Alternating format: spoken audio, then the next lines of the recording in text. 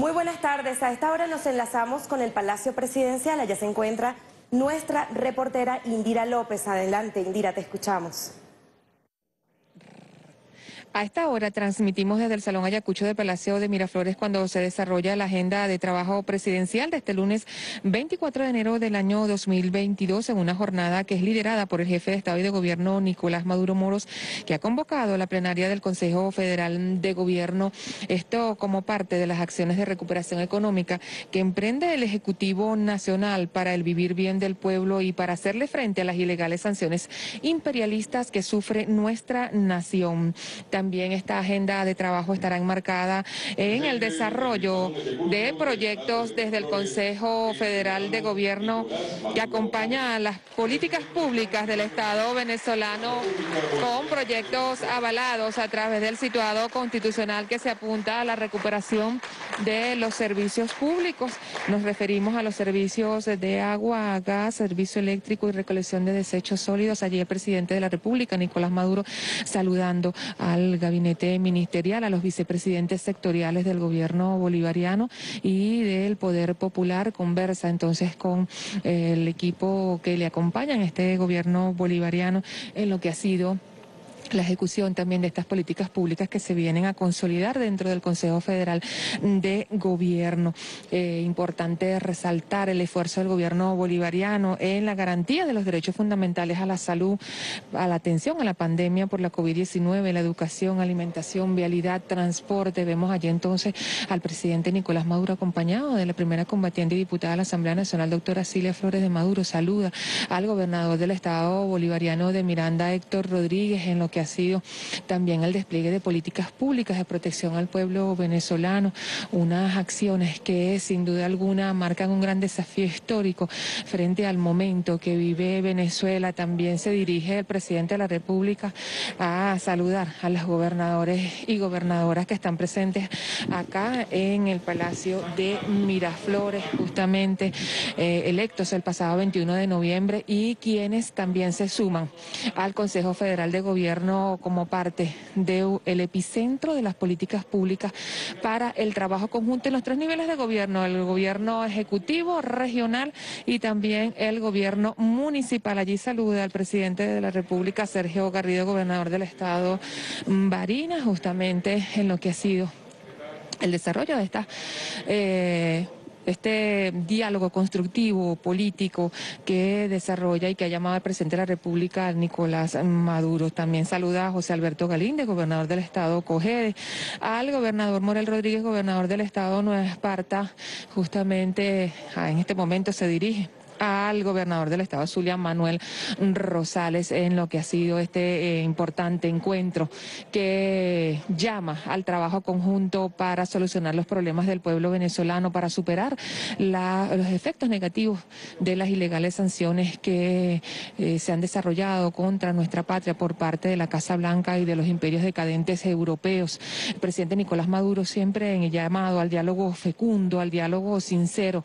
Allí saluda también a los gobernadores de Táchira, así como también de Sucre, de Guárico, alcaldes, alcaldesas que se han dado cita acá, también el alcalde eh, José Alejandro, el gobernador José Alejandro Terán del estado La Guaira gobernador del Amazonas, todo siempre en un solo espíritu, el diálogo constructivo, el diálogo para el trabajo, el diálogo para superar los efectos nocivos del bloqueo que ha impuesto el imperio norteamericano. Y en este mismo contexto también eh, el Consejo Federal de Gobierno se convierte en un epicentro para el desarrollo de estas políticas públicas que están destinadas a la recuperación del aparato económico productivo nacional. Igualmente desde el Consejo Federal de Gobierno se articulan políticas públicas con el Poder Popular para ejecutar proyectos agroalimentarios de orden también de servicios públicos y en una agenda de trabajo desde el gobierno local para favorecer todos los proyectos que nacen desde la cartografía social de las comunidades. 13 R ha pedido el presidente de la República, Nicolás Maduro Moros, para entonces avanzar en este año 2022, que será entonces la R de resistencia, de renacimiento y de revolucionar también como parte de todo este programa de acciones y políticas públicas. Hace una escuela, ¿eh? buenas tardes. Buenas tardes. Mis saludos de feliz año a todos los gobernadores, gobernadoras, alcaldes, alcaldesas y a los voceros del Poder Popular presentes aquí en el Salón Ayacucho. Hoy, lunes 24 de enero. Empezando enero ha sido intenso. Ya vamos por 24 de enero, Silvia. Cuando llegamos al 31 de enero, Silvia siempre dice, se fue el año. Y eso debe recordarnos que hay que aprovechar al máximo el tiempo. Estuvimos organizando lo mejor posible, al máximo, este Consejo Federal de Gobierno. Quiero darle las gracias a la vicepresidenta ejecutiva, quien lleva las riendas del Consejo Federal de Gobierno, doctora Delcy Rodríguez, a Gui Bernáez, secretario ejecutivo del Consejo Federal de Gobierno desde el siglo pasado. Gui tiene una gran experiencia apóyense mucho en Gui. Tiene un gran conocimiento, una gran experiencia y es un hombre muy eficiente en la evaluación de proyectos y en todo el tema del Consejo Federal de Gobierno. Muy importante, mi saludo a los vicepresidentes de gobierno, Taret El Aizami, Vladimir Padrino López, Vladimir Padrino López, Mervin Maldonado, Néstor Reverol, Ricardo Menéndez, Alfred Nazarín Áñez y Remigio Ceballos. Y a todos los ministros y ministras que no tienen coronavirus, porque tenemos algunos ministros y ministras con Omicron. Igualmente quiero saludar a todos los gobernadores y gobernadoras. Mm, me hubiera gustado que estuvieran todos, todos presentes. Siempre es importante la presencialidad siempre muy importante. ¿Dónde está la lista de los que están conectados?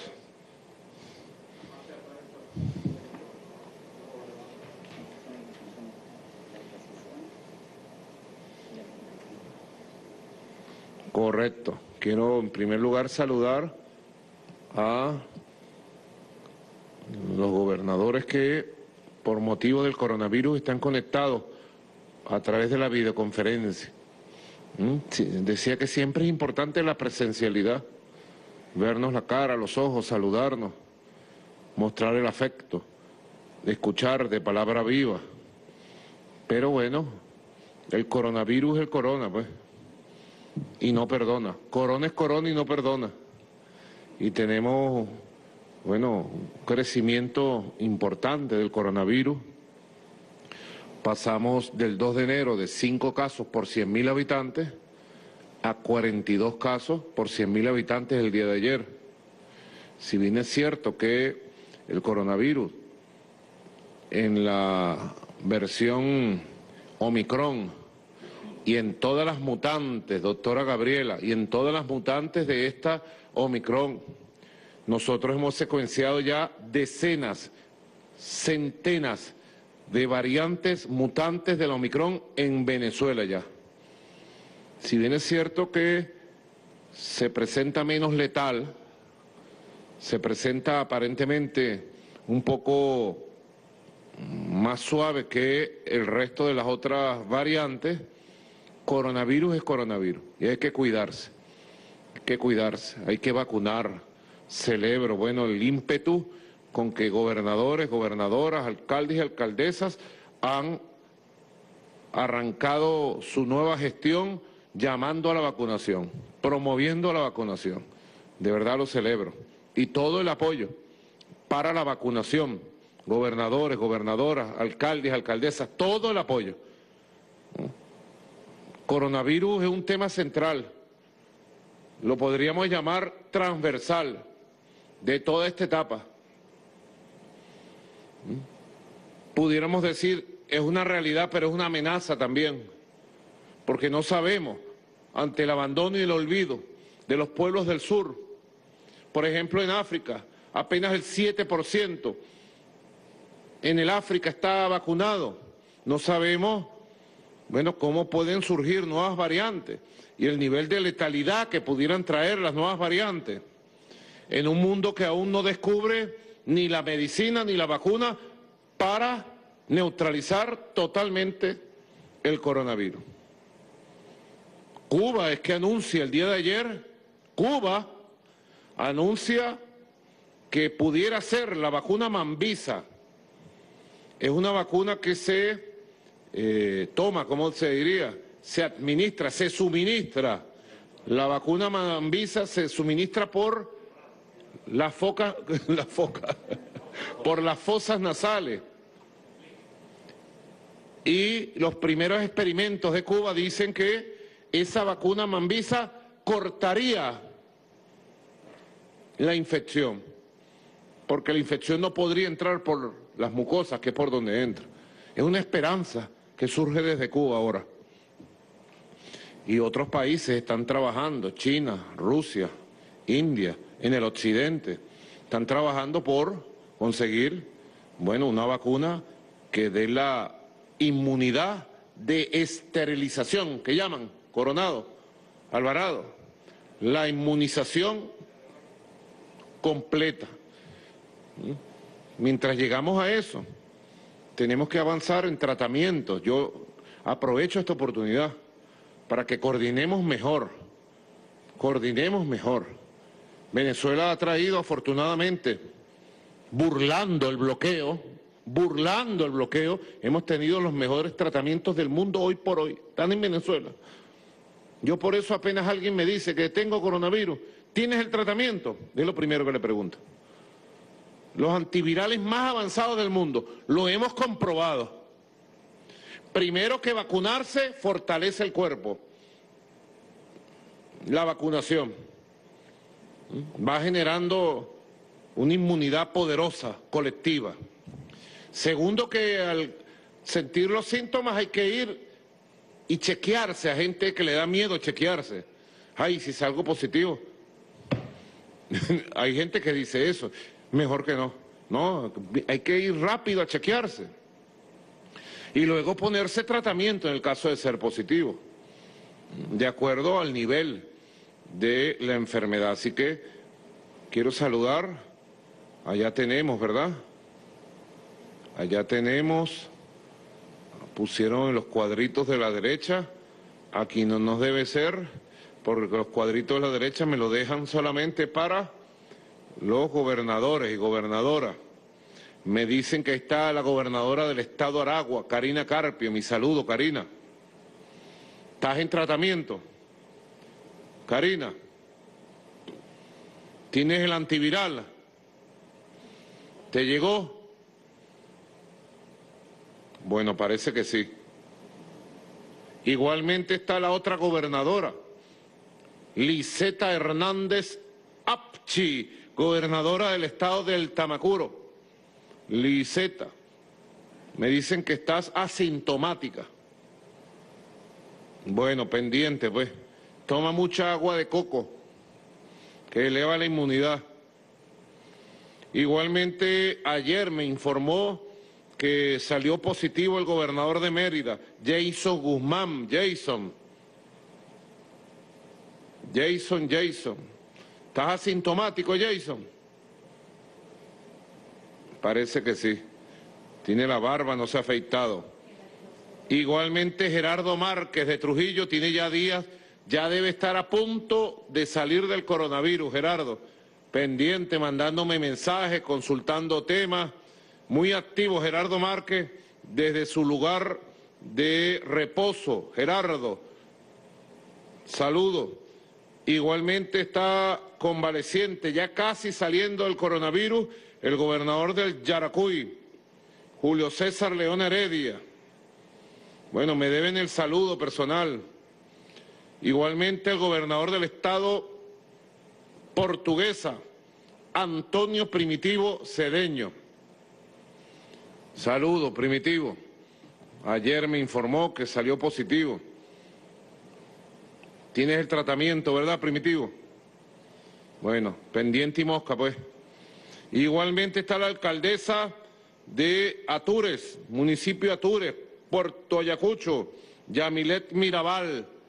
También está con COVID-19, mi saludo, pues. Igualmente quiero saludar a los gobernadores presentes, gobernador de Amazonas, Miguel Rodríguez, saludo, al gobernador del estado Anzuategui, Luis José Marcano, saludo, feliz año nuevamente. ¿Mm? Mira que el feliz año se puede dar hasta el 31 de julio, de acuerdo a decreto oficial.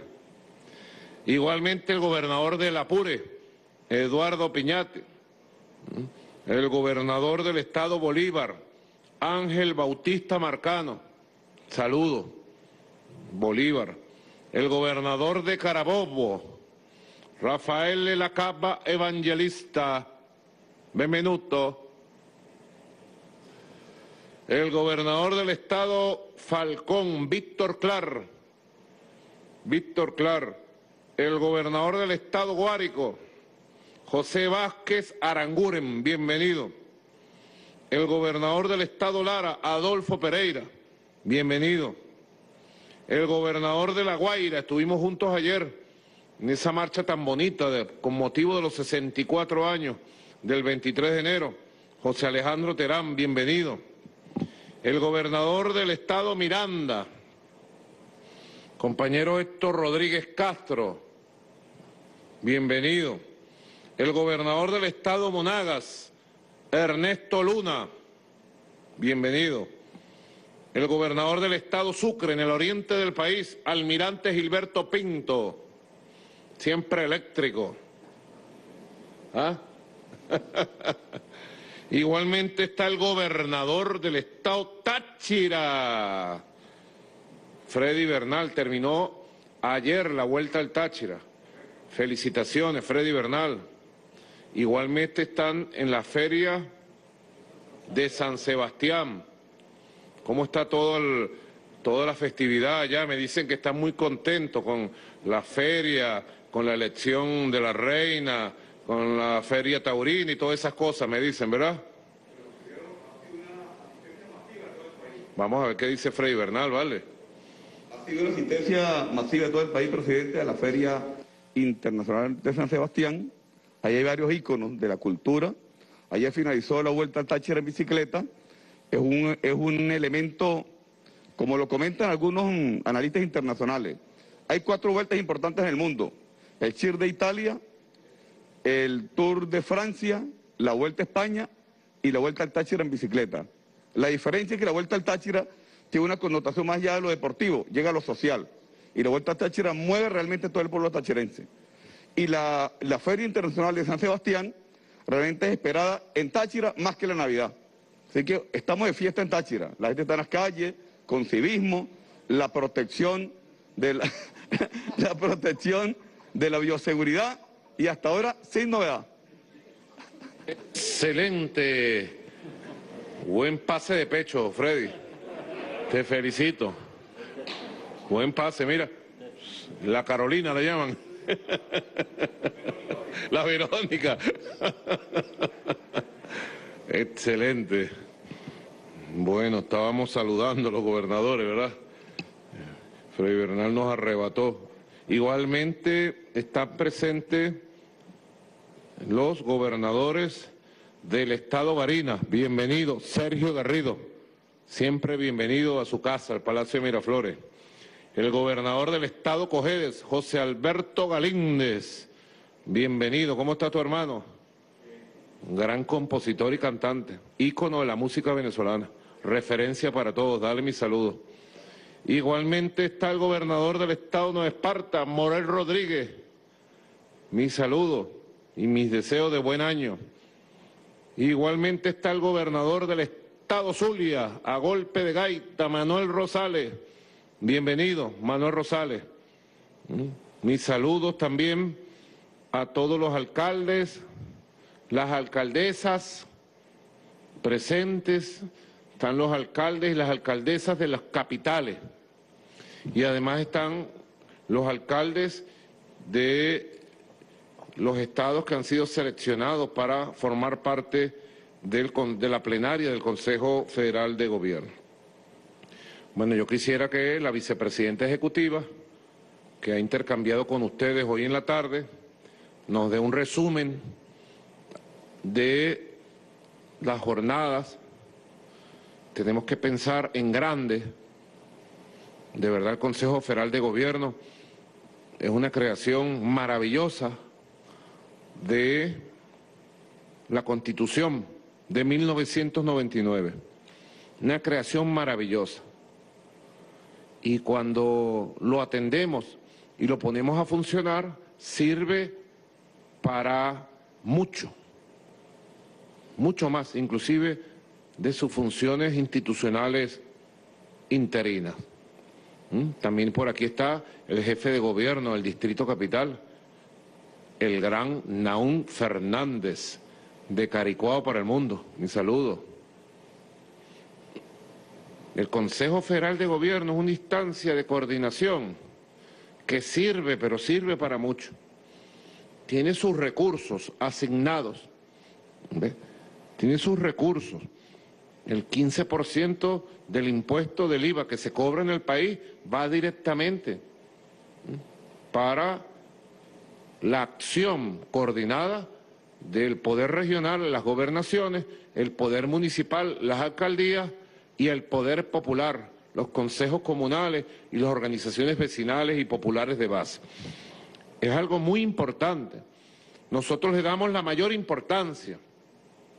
Creo que para esta jornada, habiendo sido relegitimados los poderes regionales y municipales, debemos arrancar con buen pie de coordinación.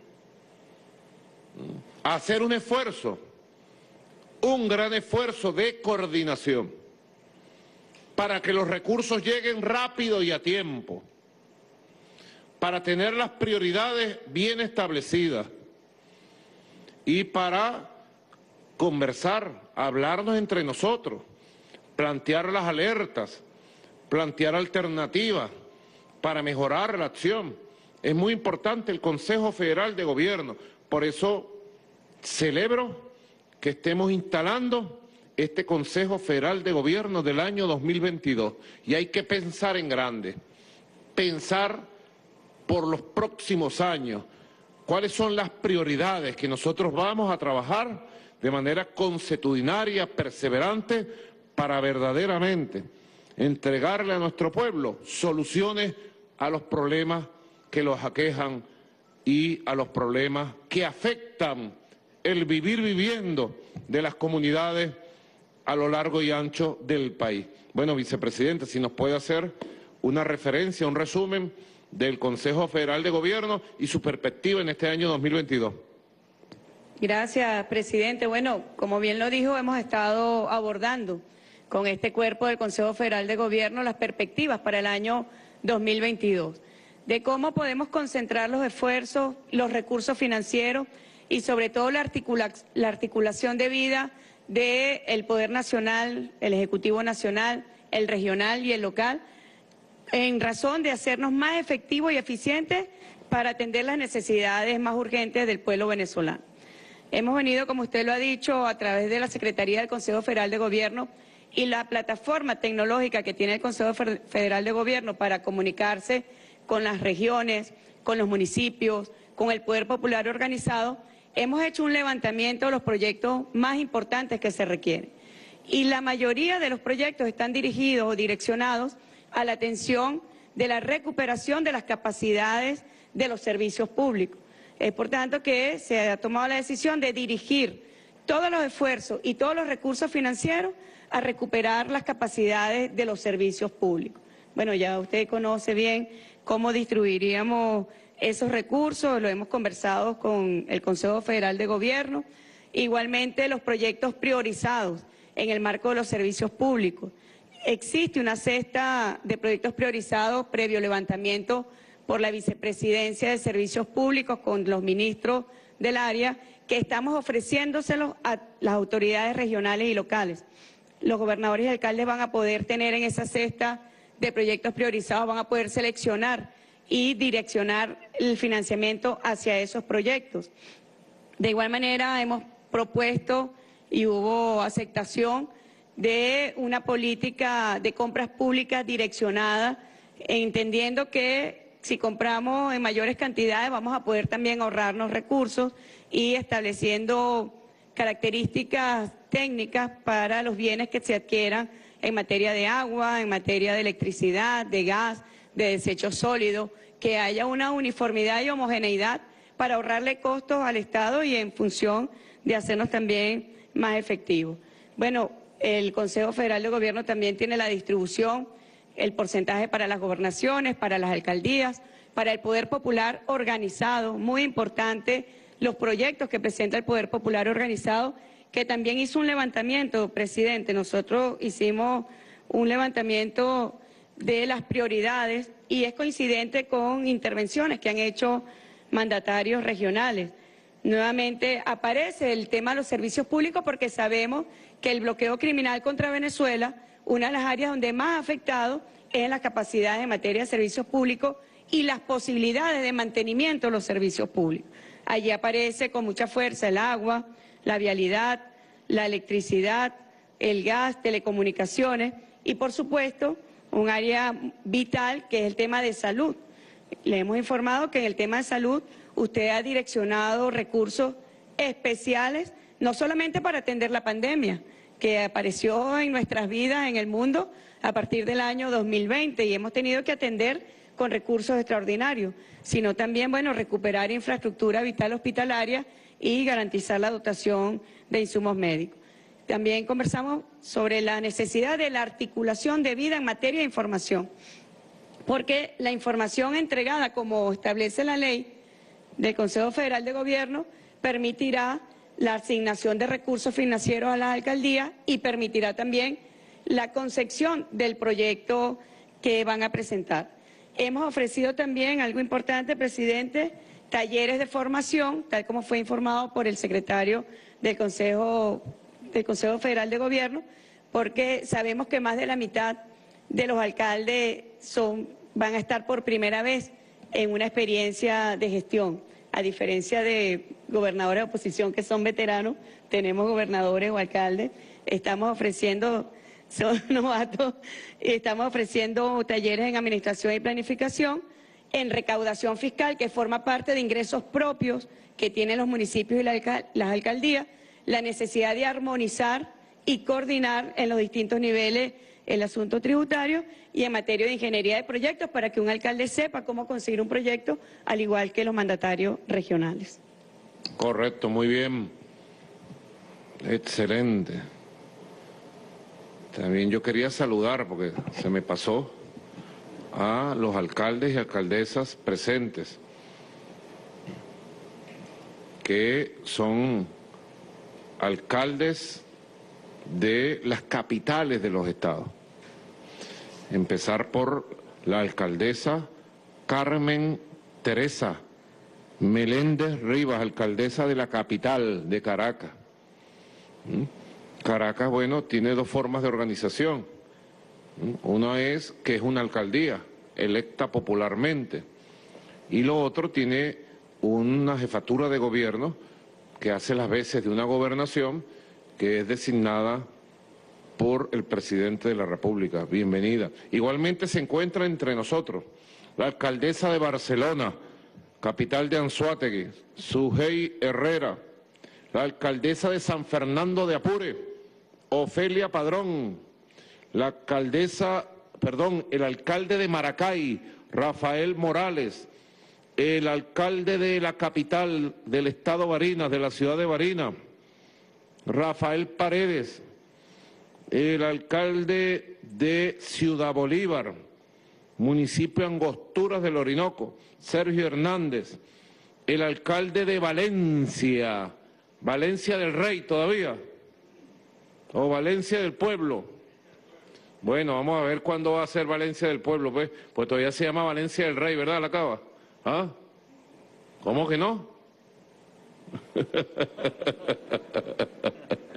Valencia del Pueblo, Julio fue mayor, la alcaldesa de Tucupita, Loa Tamaronis, el alcalde de Coro, Henry Hernández, el alcalde del municipio Vargas de La Guaira, José Manuel Suárez, el alcalde de Barquisimeto, Luis Jonás Reyes, el alcalde de la ciudad de Mérida, Jesús Araque, creo que es el más joven, ¿verdad?, entre todos los alcaldes. ¿Qué edad tienes tú, Araque?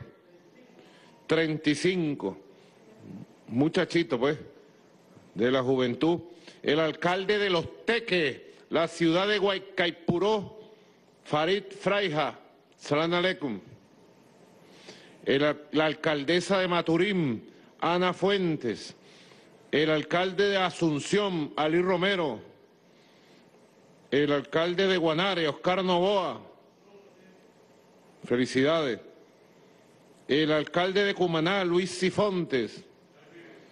El alcalde de San Cristóbal, Silfredo Zambrano el alcalde de Trujillo, la ciudad de Trujillo en Trujillo, Carlos Terán, otro Carlos Terán, ¿eh? El alcalde de San Felipe, Yaracuy, Roger Daza, el alcalde de la ciudad de San Carlos de Austria, ¿qué le dicen? También es del rey. Ah, es del pueblo. Alexander Mireles, bienvenido la alcaldesa de San Juan de los Morros, la bella ciudad de San Juan de los Morros, Zulme Ávila, bienvenida, alcaldesa. El alcalde de Maracaibo, Rafael Ramírez el Negro, el bueno, el honesto. Rafael Ramírez en Maracaibo, ¿no? Tú eres nacido en Maracaibo, en Cabima, pero te criaste en Maracaibo y vives en Maracaibo y ganaste en Maracaibo. ¿Con qué porcentaje ganaste en Maracaibo? Una pela. Una pela. Mira cómo lo dice Una pela, le dimos una pela. Está bien. Correcto. Están todos, ¿verdad? Presentes. Bueno, muy bien. Establecer las prioridades es lo más importante. Conversadito, como decía nuestro profe Aristóbulo Isturi conversadito, entendernos. Hay que hacer un gran esfuerzo. Lo primero que tiene que hacer el Consejo Federal de Gobierno es organizarse, ¿verdad? Y está establecido el funcionamiento de una secretaría. La Secretaría de coordinación del Consejo Federal de Gobierno está establecida con, bueno, la presidencia de la vicepresidenta ejecutiva, la existencia de un secretario ejecutivo y la presencia de tres gobernadores o gobernadoras, tres alcaldes o alcaldesas y dos vicepresidentes de gobierno. Entonces, en este primer paso que tenemos que dar de organización, para que funcione, esto significa mucho trabajo, yo le pido a la vicepresidenta, encarecidamente, sabiendo su capacidad de entrega, su disciplina, su profesionalismo, su capacidad de trabajo, le pido a Gui, sabiendo ya su experiencia, le han salido canas aquí en la Secretaría Ejecutiva, Gui, tenemos mucha confianza en ti, le pido a los vicepresidentes de gobierno, pero en especial a los gobernadores, gobernadoras, a los alcaldes que van a formar parte de esta Secretaría del Consejo Federal de Gobierno, que le dediquen todo el tiempo que sea necesario y posible para que la Secretaría del Consejo Federal de Gobierno funcione al pelo, funcione en comunicación permanente, en alerta permanente. Es lo que yo he planteado, señores gobernadores de la oposición. He planteado desde el gobierno bolivariano los nuevos métodos de gobierno. Yo los he planteado desde nuestra perspectiva. Ustedes me han escuchado. El 1 por 10 del buen gobierno, la agenda concreta de acción, el mapa de soluciones el que de ustedes como opositor en las cuatro gobernaciones que han ganado por la calle del medio y las 128 alcaldías. ¿Quiere incorporarse a esos métodos? Bienvenido. Pero bueno, es una iniciativa política de la revolución del gobierno bolivariano. Es una iniciativa política del presidente Maduro para mejorar, para superar problemas, para establecer mecanismos de comunicación más directa con la gente, resolverlos en tiempo real.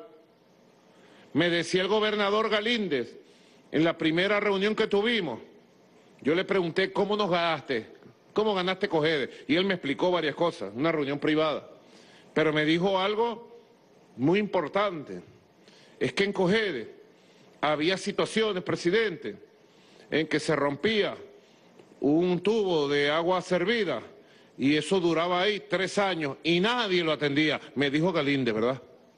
En la calle tal, en el sitio tal. Entonces yo me volteaba hacia mi gobierno y decía, ¿cómo nosotros no nos enteramos?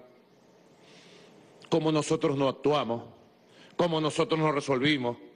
Y eso me ha llevado a mí a pensar más radicalmente en lo que he lanzado de las 3R.net 2030.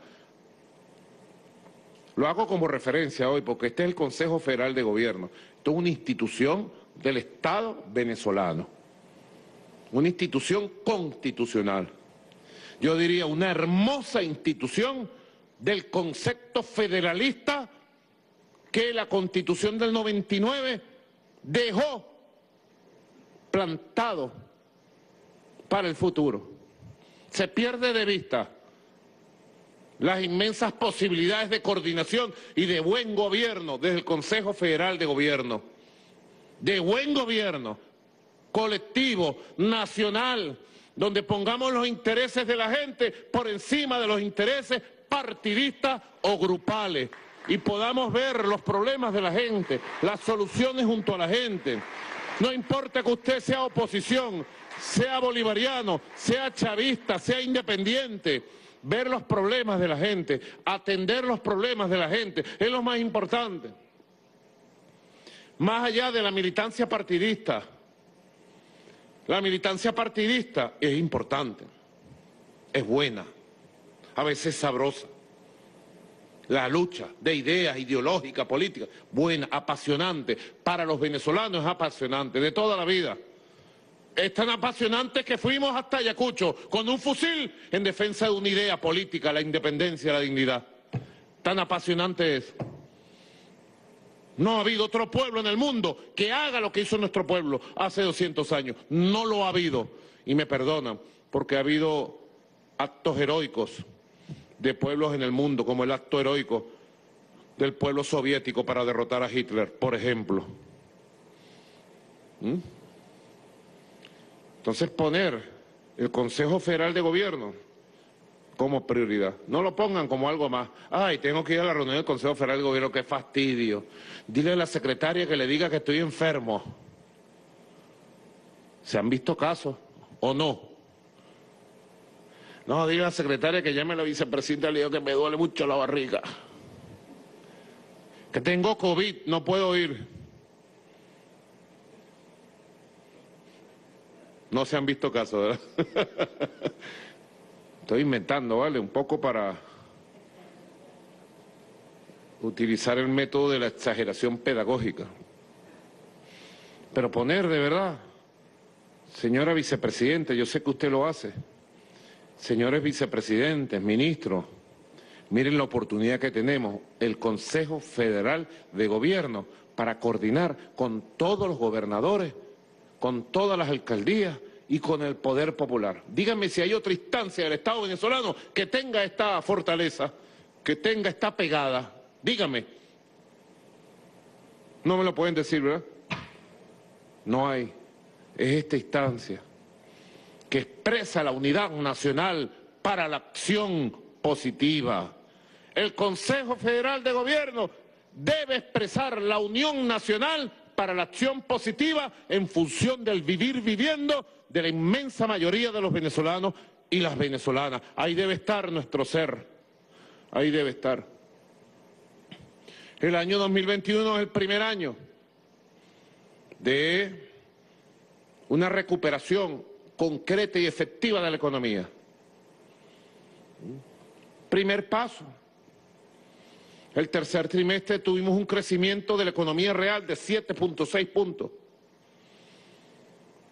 Se proyecta, los estadísticos, científicos, financieros y numerólogos, se proyecta un crecimiento del 4% de lo que fue el 2021. Primer año de crecimiento. Wilmar Castro Soteldo, que es numerólogo también, bueno, hizo un análisis en estos días de que eso significa un crecimiento superior porque se trata de subir las escaleras que se habían bajado y ponerse otra vez en la cúspide. Venezuela necesita muchos años de crecimiento económico para recuperar su bienestar social, su nivel de vida, para construir el vivir viviendo. Yo he dicho, y repito aquí en esta instancia del Estado venezolano, ¿para quién es negativo que la economía crezca? ¿Hay algún venezolano que pueda decir que le hace daño que la economía crezca y se fortalezca? Ernesto Villegas, tú que investigas tanto, tú que haces entrevistas permanentes, yo creo que apostar al crecimiento de la economía real, de la economía que produce bienes, servicios, alimentos, que produce riqueza, que produce fortuna, es apostar a ganar, ganar de todo un país, de todo un país. El ganar, ganar de un país. Así que hay que cuidar a Venezuela, hay que cuidarla, hay que cuidar el crecimiento económico, estimularlo, promoverlo. Hay que cuidarlo y estimularlo y promoverlo y unir esfuerzos, esfuerzos honestos, eficientes para el crecimiento de la economía. Por eso es que le he dicho a la vicepresidenta que incorporemos de manera inmediata a todos los gobernadores y gobernadoras del país al Consejo Nacional de Economía para que se conviertan en actores políticos, económicos e institucionales de los planes de crecimiento y de recuperación económica del país. Y en base a un plan, bueno, en base a un plan, avanzar en la recuperación de la industria, de la agroindustria, de las tierras. Bueno, sobre eso ya han avanzado. Sé que han avanzado el vicepresidente de Economía, Tarek El Aizami, el ministro de Agricultura y Tierra, entre los que puedo ver aquí el ministro de Industria. Sé que han avanzado en reuniones de exploración. Yo quiero ver el mapa, estado por estado. Bueno, para que hagamos una correcta y justa distribución de todo los frentes de batalla económico de recuperación bajo un nuevo esquema productivo, eficiente. No le temamos a la rectificación donde se hayan cometido errores. Sé de muchas empresas antes socialistas que le entregué a algunos gobernadores en funciones y se le entregaron a amigotes, empresarios que las quebraron lo sé, con nombre y apellido y dirección del Estado. Sé que quebraron empresas que se le entregaron a su custodia para su recuperación. Las quebraron. La indolencia, la corrupción, el abandono. No le tengamos miedo a reconocer donde ha habido un desastre administrativo y político y han quebrado una empresa. No le tengamos miedo a reconocer, al contrario, busquemos poner el dedo en la llaga, removerlo y salir a rectificar, porque esas unidades productivas están allí para crear bienes y servicios para el pueblo, para crear puestos de trabajo, para producir. Yo le hacía una referencia en estos días, en una reunión, a la vicepresidenta ejecutiva Delcy Rodríguez. Y le hacía una referencia también al vicepresidente de Economía, Tarek El Aizami.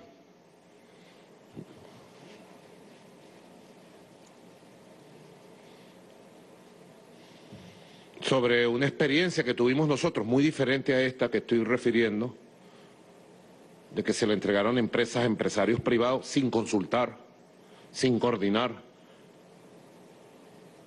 bajo esquemas corruptos, destructivos, y destruyeron empresas. Están por el piso algunas empresas y tenemos que levantarlas.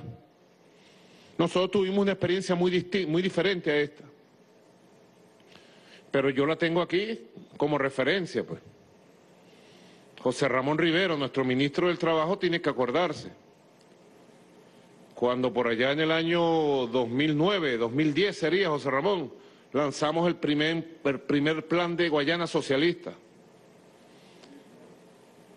para la recuperación de las industrias básicas, del hierro, el acero, el aluminio, las briquetas. Y nosotros lamentablemente en la primera experiencia pecamos de romanticismo y fracasamos.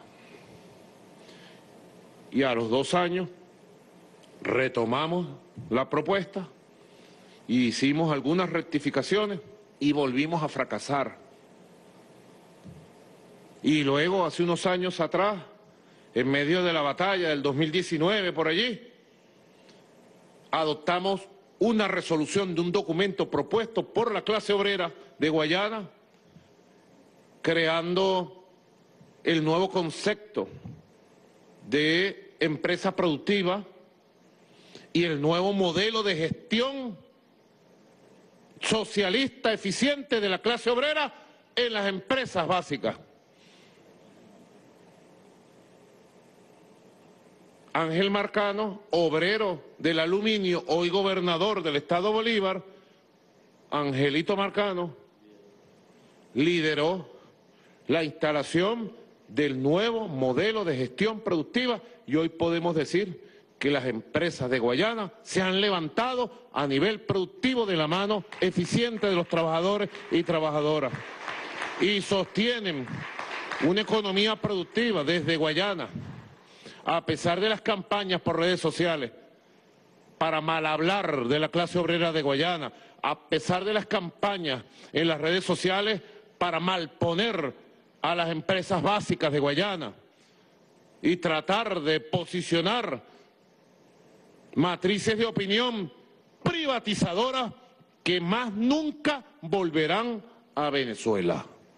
Matrices neoliberales, privatizadoras más nunca volverán a Venezuela.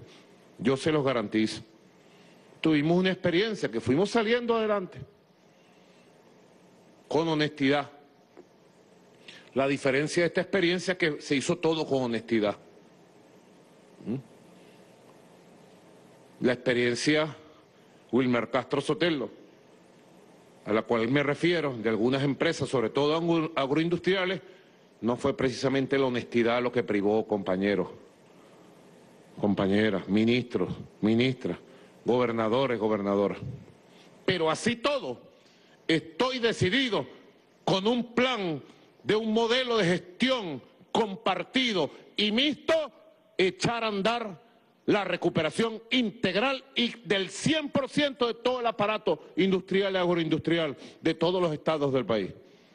Estoy listo y decidido pero eso amerita mucho trabajo. Por eso quiero que gobernadores y gobernadoras se incorporen al Consejo Nacional de Economía, establezcamos una coordinación eminentemente y exclusivamente económica para ver el florecimiento del aparato productivo, de las capacidades y potencialidades económicas de todos los estados del país. Estamos listos. Listos, listos, listos. Bueno, aquí me tocaría entonces designar, ¿no? la Secretaría del Consejo Federal de Gobierno, luego de consultas hechas con gobernadores, con gobernadoras, con alcaldes y alcaldesas en todos los estados, la Secretaría del Consejo Federal de Gobierno 2022 quedaría conformada por la vicepresidenta ejecutiva Delcy Rodríguez, quien asume la presidencia constitucional del Consejo Federal de Gobierno, el licenciado Guy Bernáez, secretario ejecutivo del Consejo Federal de Gobierno para coordinar con buenos métodos de manera permanente todas estas instancias. Por los gobernadores se incorporan a la Secretaría del Consejo Federal de Gobierno con actividad de 24 horas el gobernador de Miranda, Héctor Rodríguez Castro, la gobernadora del Tamacuro, Liseta Hernández, y el gobernador de Cojedes, José Alberto Galíndez. Los tres gobernadores que llevarán la voz de todas las regiones del país, por los alcaldes, para llevar la voz de los 335 alcaldías, se incorporan al Consejo Federal de Gobierno. En su nivel de secretaría la alcaldesa de Caracas, Carmen Teresa Meléndez Rivas, el alcalde del municipio Irribarren, Barquisimeto, Luis Jonás Reyes, y el alcalde del municipio San Francisco del Zulia, Gustavo Fernández. Se incorporan como voz de los alcaldes y las alcaldesas del país. Y por los ministros he designado a el vicepresidente de Economía, ministro de Petróleo, Taret El Aizami, y al vicepresidente de Obras Públicas y Servicios, ministro del Poder Popular de Energía Eléctrica, Néstor Reverol Torres. Así que articúlense y lleven adelante las riendas colectivas democráticas de la Secretaría del Consejo Federal de Gobierno. ¡Cúmplase! Bueno, y ahora vamos a entonces hablar de lo que ustedes ya conocen. Tenemos aquí los números ya calculados proyectado de los recursos a transferir durante el año 2022. Esto es el recurso general por Estado. Correcto. Correcto. De estos recursos, yo le pido a la Secretaría Ejecutiva, bueno, la celeridad para que los recursos lleguen de manera rápida a todas las gobernaciones, alcaldías y al poder popular. ¿Correcto? La distribución de los recursos, como ustedes saben, es un 33% para gobernaciones, un 25% para alcaldías, un 27% para el Poder Popular y un 15% para el fortalecimiento institucional de la Secretaría y del Consejo Federal de Gobierno. Por eso es que yo digo, mientras al país le vaya bien o le vaya mejor, mientras se siga expandiendo el mercado interno, la capacidad de consumo, de compras de la población, mientras se siga expandiendo todo lo que es el crecimiento comercial del país, es un ganar-ganar, porque de ese crecimiento económico, comercial del consumo, viene el impacto sobre los recursos que van para ser invertidos en la población a través del Consejo Federal de Gobierno. Es un ganar-ganar. Si Venezuela genera fortuna, riqueza, como sabemos hacerlo, y vamos venciendo el bloqueo, porque tenemos que vencer el bloqueo, tenemos que unir una sola voz, gobernadores, una sola voz, para pedirle al gobierno de Estados Unidos que cese las sanciones y el bloqueo contra la economía nacional, contra el petróleo venezolano, contra el gas venezolano, contra el oro venezolano, el cese del bloqueo. Eso va a traer aparejado riqueza, mejores salarios, más inversión pública. Y como esto lo medimos con el IVA, dos más dos son diez. Se multiplica, pues. La recaudación central, tanto para el situado constitucional, llamado así, esos nombres raros que le han buscado para que nadie entienda nada. Yo siempre me opongo a esos nombres de la tecnocracia, pero están instalados por décadas. El dinero por situado constitucional, es que lo llaman, ¿verdad?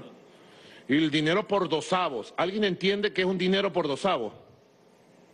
Solo Gui y la vicepresidenta. Por los dosavos le vamos a bajar tanto.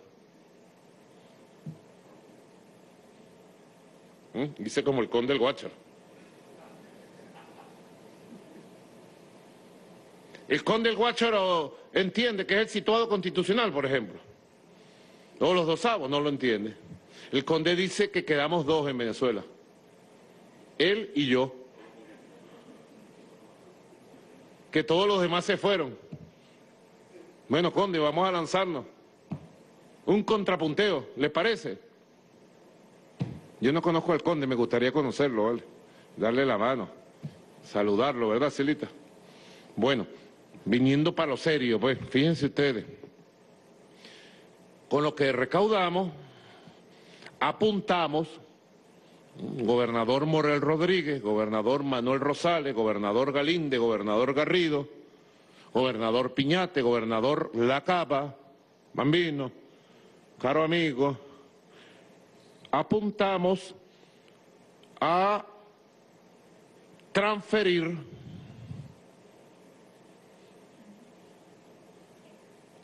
esto es para esto, a las gobernaciones, solamente a las gobernaciones, por recaudación de IVA, y el IVA se recauda del movimiento comercial. Solamente por recaudación de IVA en el año 2022 estamos proyectando darle a las gobernaciones 312 millones 580 mil 455.33 céntimos de bolívares. Una platica, oyeron. ¿Ah? Dirían por el llano, una platica que le correspondería solo por Consejo Federal de Gobierno. Si la economía sigue creciendo por trimestre y empujamos el crecimiento y empujamos la recaudación, seguramente este número se quedará, se quedará corto ante el número que vamos a tener al final del ejercicio fiscal. ¿Verdad? Y todo esto hay que transformarlo en inversión para que la gente tenga agua, para que se regularice el suministro eléctrico, para atender el tema de la basura llamada de los desechos sólidos, para atender el tema del suministro de gas, para atender todos los temas de vialidad y acceso a las áreas más apartadas. 312 millones 580 mil 455 bolívares con 33 céntimos. ¿Verdad? el primer desembolso que se va a ejecutar ahora, en las próximas horas, sería 18 millones 546 mil bolívares, que debe ejecutarse de inmediato. 18 millones 546 mil bolívares. Ahora, nosotros además le vamos a aportar a gobernaciones y alcaldías mínimo 80 millones el equivalente. Pónmelo en bolívar, no me lo pongas en dólares. ¿Mm? Me lo pones en bolívar. Por el bono de la patria. Para los trabajadores y trabajadoras, porque este año nos hemos empeñado en salarizar todos los bonos de la patria y en incrementar los bonos de la patria para nuestro pueblo, salarizarlo e incrementarlo. en la misma medida que vamos, mira, manejando las dos manos para acelerar el crecimiento económico y sostenerlo, para crear fortuna y riqueza, para invertir esa riqueza en salario, en obra pública y servicio, para controlar la inflación y bajarla cada vez más. Ojalá este sea el año más bajo de la inflación en toda una década, para controlar el sistema cambiario que se ha construido en Venezuela en medio de la guerra económica y que se mantenga la estabilidad del sistema cambiario. ¿Verdad? Entonces, bueno, están establecidas las prioridades de este Consejo Federal de Gobierno. La primera, la economía, la economía, la economía, con mucha fuerza. Pero además, enfocar estos recursos que vamos a ir entregando por bimestre, cada dos meses se va a estar entregando la parte de los recursos, que sea en los primeros días, para que el dinero les rinda, les alcance, ¿verdad? No se les haga salir agua. Y de manera acompasada, ir invirtiendo en servicios públicos. Prioridad, servicios públicos. Prioridad del Consejo Federal de Gobierno. Prioridad de Gobierno Nacional, gobernaciones, alcaldías y el Poder Popular. El 33% de la inversión para las gobernaciones, el 25% para las alcaldías, el 27% para el Poder Popular. Así irán los recursos para nuestro pueblo a través de las distintas instituciones. Y se ha establecido entonces un porcentaje para la inversión queridos gobernadores, queridas gobernadoras, queridos y queridas alcaldes y alcaldesas, queridos compañeros del Poder Popular a nivel nacional. Así sería lo que se ha establecido como esquema de inversión para avanzar de verdad en este año 2022 en un año de soluciones en los servicios públicos de Venezuela de mejorar la calidad de vida de todo el pueblo de Venezuela hasta en el último rincón, de atender los problemas reales de servicios públicos como problemas necesarios, con inversión, con trabajo, con tecnología. Tengan la seguridad que nos va a ir bien, con buena inversión, con el trabajo y el liderazgo de ustedes y con los equipos del Poder Popular tenga la seguridad que nos va a ir bien y el año 2022 vamos a remontar la cuesta de los problemas de servicios públicos que tiene la población venezolana, que tiene nuestro pueblo. Así lo siento, así lo creo, así lo pido y así debemos hacerlo. Trabajo y más trabajo 2022.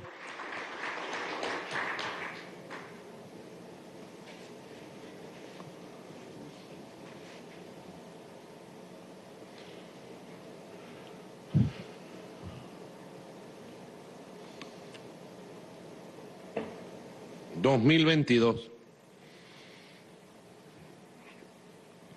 Y en torno a lo que es la prioridad de inversión, quedaría establecida en los siguientes parámetros. Son parámetros. 35% de los recursos del Consejo Federal de Gobierno en dosavos y trisavos, invertirlos en agua, 25% en electricidad, 20% en vialidad, 10% en gas y 10% en desechos sólidos, basura pues. 35 agua, 25 electricidad, 20% vialidad, 10% gas, 10% desechos sólidos. Lo cual también es un parámetro para la inversión pública nacional, tanto del gobierno nacional como de las distintas instituciones. El tema de la vialidad tiene mucho que ver con el asfaltado. Tiene mucho que ver con PDVSA, con sus capacidades de producción, con la coordinación regional con las plantas de asfaltado y poder llegar, fíjense ustedes, hasta los lugares más recónditos, no dejar abandonado a nada ni a nadie. A mí me da dolor cuando me informaban en estos meses que el pueblo tal, el pueblo tal, el pueblo tal no puede salir a su propio estado, sino tiene que salir a otro estado porque la vialidad está en el piso y nadie la ha arreglado. Y es que ese estado no tiene gobernador para que fuera, aunque sea con un bulldozer, y abriera un camino de tierra, por ejemplo. O tiene que ir Maduro con el bulldozer. ¿Qué les parece a ustedes? ¿Tengo que ir yo con el bulldozer a abrir el camino de tierra para que existen poderes públicos? Pensaba yo cuando me informaron eso, a finales del año pasado.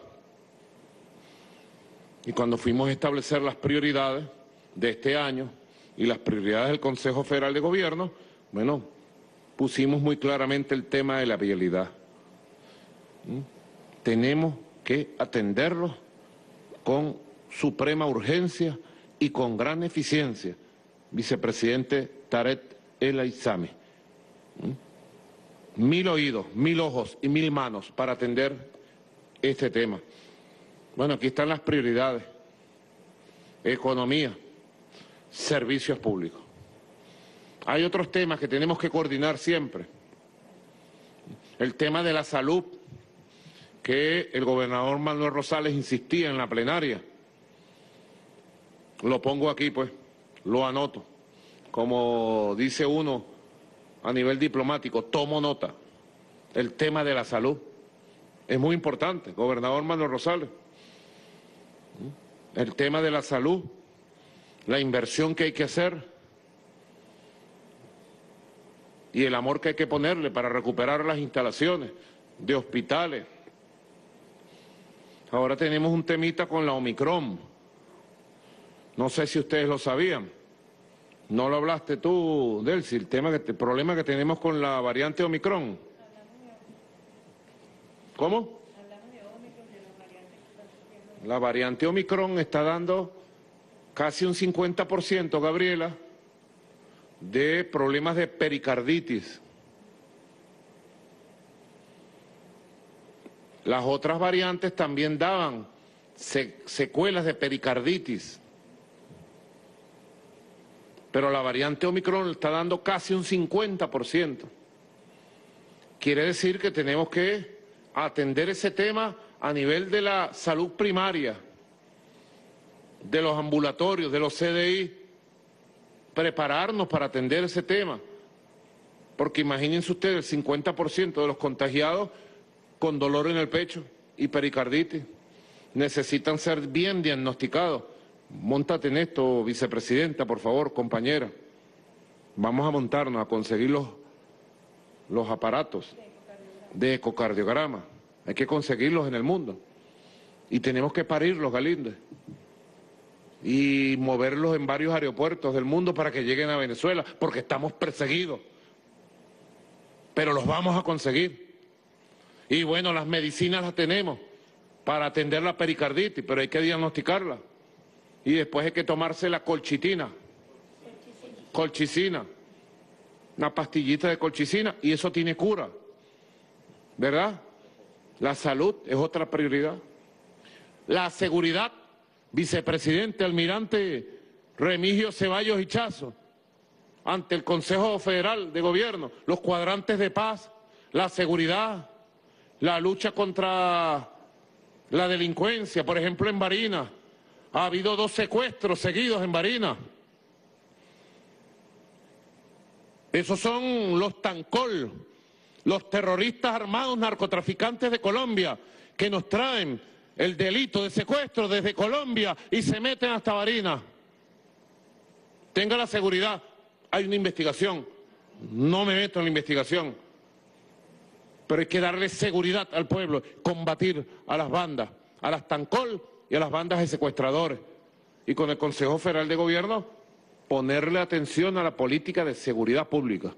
de seguridad ciudadana, de los cuadrantes de paz. Siempre habrá diversidad de prioridades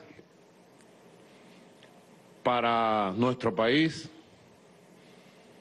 Hay que hacer un gran esfuerzo con buena voluntad. Hay que hacer un gran esfuerzo de entendimiento nacional. Este año 2022 tiene que ser un año de consolidación, de la paz, del entendimiento, del diálogo, del buen gobierno, del crecimiento económico. Este año 2022 tiene que ser un buen año que vaya avisorando el resto de la década. Nosotros, los bolivarianos, proponemos una agenda, el 3R.net 2030. Se la proponemos a todo un país con buena voluntad, que cada quien la interprete a su manera. Pero en definitiva, lo que pensamos y proponemos nosotros los bolivarianos es un gran entendimiento nacional para el crecimiento y la recuperación integral de Venezuela, para el ganar, ganar, para el vivir, viviendo de todos los venezolanos y de todas las venezolanas. Felicito a todos los gobernadores, gobernadoras, alcaldes y alcaldesas y al Poder Popular por este exitoso establecimiento del Consejo Federal de Gobierno 2022. Felicitaciones, muchas gracias por su asistencia. Que Dios me los guarde y me los bendiga. Muchas gracias. Hasta la próxima. Muchas gracias.